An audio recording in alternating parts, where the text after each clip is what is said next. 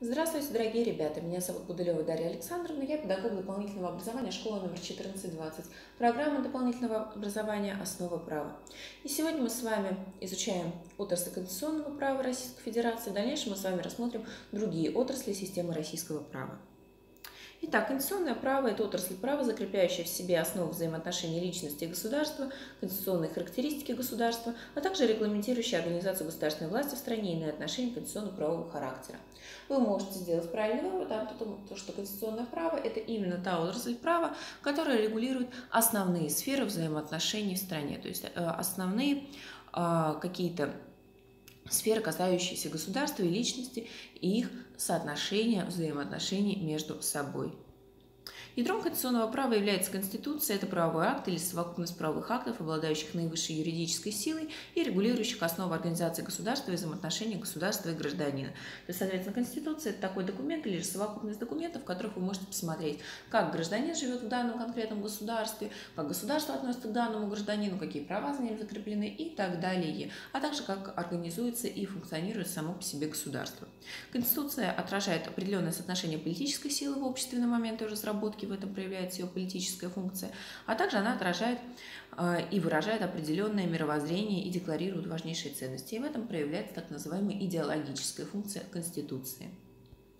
Конституционное право реализуется через конституционно-правовые отношения, Соответственно, мы уже говорили, что он регулирует наиболее важные общественные отношения. И реализация через конституционно-правовые отношения означает, что посмотреть, как действуют нормы того или иного конституционного права той или иной страны, вы можете исключительно э, по взаимоотношению органов власти между собой, по правилам взаимоотношения государства и гражданина, по правилам защиты правового статуса личности и так далее. То есть по всем тем сферам, которые регулируют Конституции, по всем тем э, взаимоотношениям, по всем тем связям, цепочкам, которые возникают в рамках данных сфер.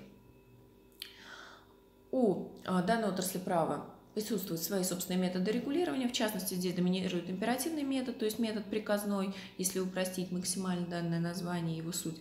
А также есть нормы дозволения, но и гораздо меньше, они в основном применяются в регулировании правового статуса личности. То есть везде, где есть права, там гражданину э, как бы дается такая возможность либо использовать, либо не использовать свое право.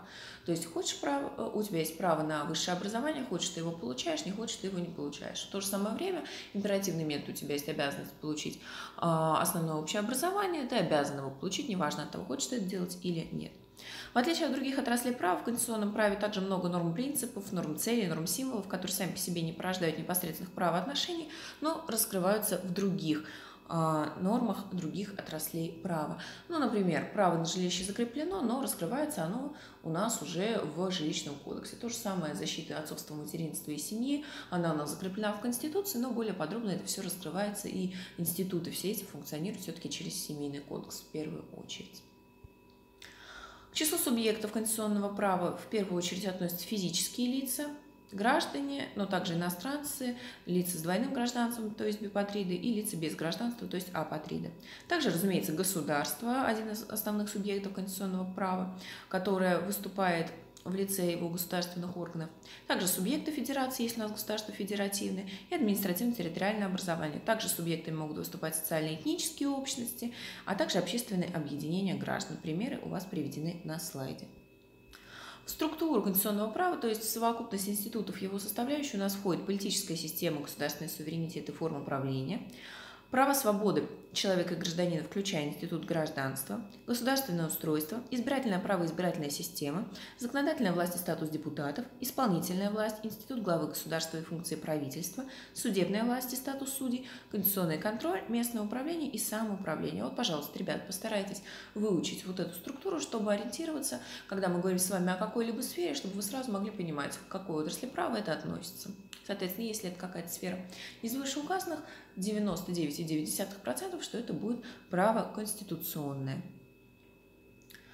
А, также важно знать, что в некоторых странах, например, ФРГ, до сих пор в качестве синонима конституционного права часто используется термин «государственное право».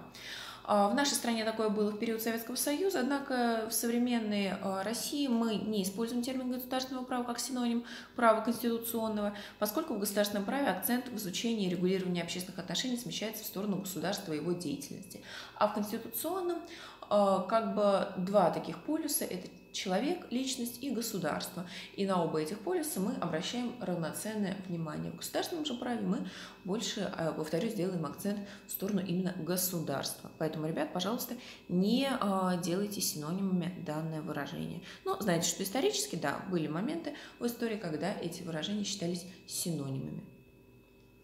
А также в завершении нашей лекции необходимо отметить, что конституционное право в науке конституционного права делится на общее и конституционное право отдельных стран. Соответственно, общее конституционное право – это конституционное право, которое даже не составляет собой, скажем так, отрасль. Это просто наука конституционного права, которая вам рассказывает об отдельных институтах. И чаще всего здесь используется принцип сравнительного правоведения, когда мы берем несколько конституций различных стран, допустим, Италии, ФРГ, Марокко и еще нескольких, и начинаем сравнивать, как в той или иной стране действует институт правительства, институт гражданства, институт президентства или же монархические институты, ну, в общем, институт главы государства, а, какой-то там институт прав, свобод человека и гражданина, положение э, граждан без гражданства и так далее. Вот это общее конституционное право, без конкретного применения какой-либо стране.